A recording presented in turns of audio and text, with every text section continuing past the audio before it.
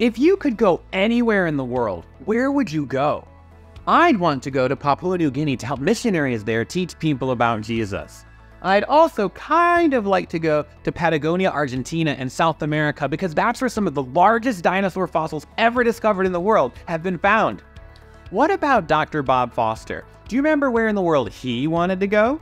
He and Belva were planning to get married and move to Mukinge, Zambia in Africa to be missionaries there after Bob graduated from medical school.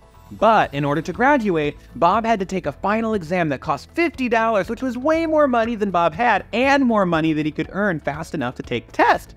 How would Bob get the money? Keep watching to find out. Bob Foster was almost finished studying to be a doctor, but he needed money to take his final medical exam. The cost was $50, which was a lot of money back then. Bob prayed and was sure God would provide but he didn't know how. Every day, Bob checked the mail to see if someone had sent him money, but he got nothing, and again, nothing. The day of the test arrived, and Bob still didn't have any money. Bob prayed again and decided he would walk to the examination place, even though he didn't have money to pay for the exam.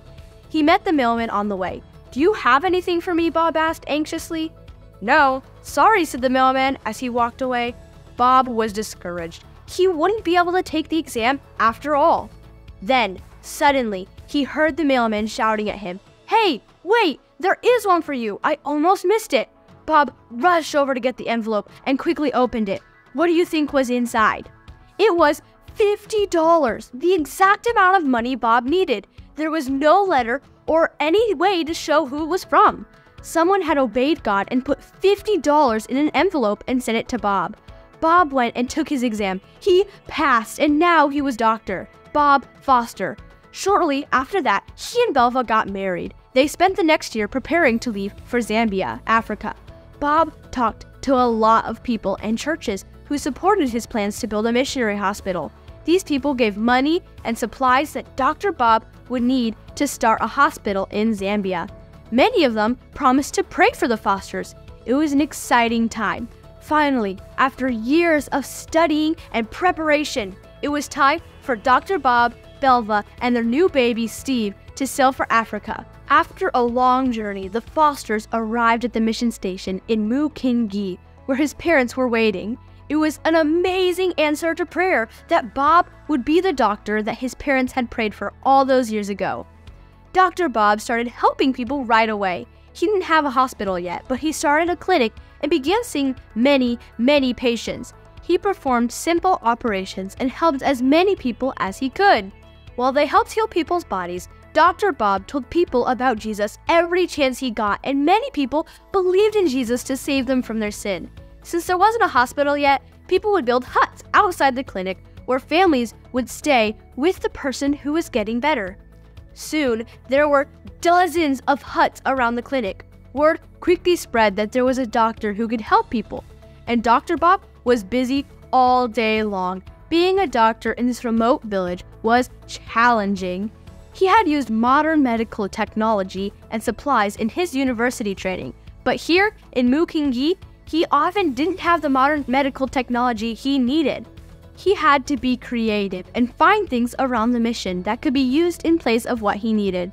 And even though he had learned a lot at school, there was operations he still needed to learn to do. Sometimes he had a book open in the operating room while he did surgery so he could learn what to do step by step during the operation. It was hard work, and Dr. Bob knew that in order to help more people, he would need more help. So the Fosters began praying for more help. They asked God to send a trained nurse to help him do the good work of healing people's bodies while they also told them about Jesus and how he could heal their souls by saving them from sin. God answered that prayer. A nurse in the United States had heard Bob speak at a Bible college. She had been praying about it and decided that God wanted her to move to Africa and serve with Dr. Bob in Mukinge. Bob and Belva were very excited when the nurse arrived and they got to work. Now they could do more complicated surgeries and help more people but Dr. Bob knew they could help even more people if they built a hospital. But starting a hospital was a lot of work. How would God make that happen? keep watching our next videos to find out. Will Dr. Bob be able to build a hospital? You can find out in our next video. You'll also find out how God protected Dr. Bob from a spitting cobra and an explosion. To learn even more about Dr. Bob, your family can even download a free copy of the entire Bob Foster Missionary Story for Kids at kidsenjoyingjesus.com. This free missionary story for kids has pictures, coloring pages, and activity ideas to help parents and teachers share this true story with kids. Your family can also help missionaries like Dr. Bob, who are telling people about Jesus around the world by picking a missionary or several missionaries that you will pray for, support, and encourage regularly. In my family, we use a globe to find the places our missionaries live and pray for one of them every day.